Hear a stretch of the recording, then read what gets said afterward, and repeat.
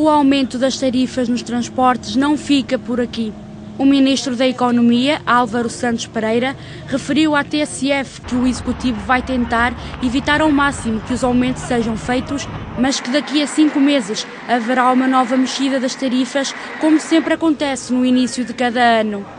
Em entrevista à RTP, o Ministro da Economia garantiu ainda que a reestruturação do setor dos transportes vai ser feita nos próximos meses, de forma a reduzir custos dessas empresas e para fazer com que as pessoas não tenham de pagar novamente preços substanciais.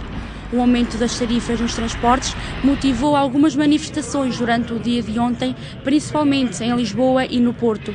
Segundo fonte da Lusa, durante a Comissão de Economia e Obras Públicas, o Ministro da Economia referiu ainda que a nova tarifa social será anunciada nos próximos dias.